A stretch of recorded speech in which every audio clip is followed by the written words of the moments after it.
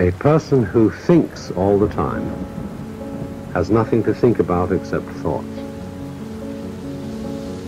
So, he loses touch with reality and lives in a world of illusions. Some days are difficult. I get caught up in my thoughts and they spiral. They feel heavy, crushing me and consuming me.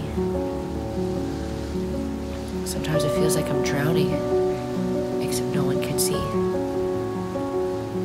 I lie awake at night, too restless to sleep, but too tired to move.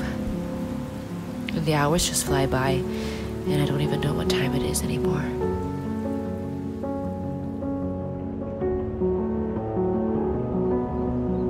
Some days are easier. They just feel lighter. It's easier for me to sleep at night and to get up in the morning. I feel real excitement and hope.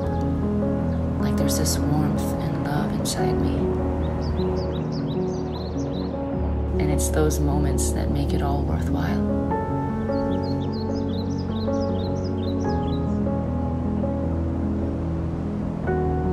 But sometimes it feels like I'm under a microscope. And the whole world is judging me. That makes it hard as well. The fact that everyone has an opinion about you, yet no one really knows you.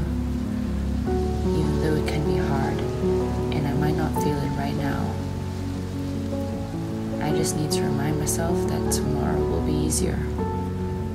Tomorrow will be better. I can feel it.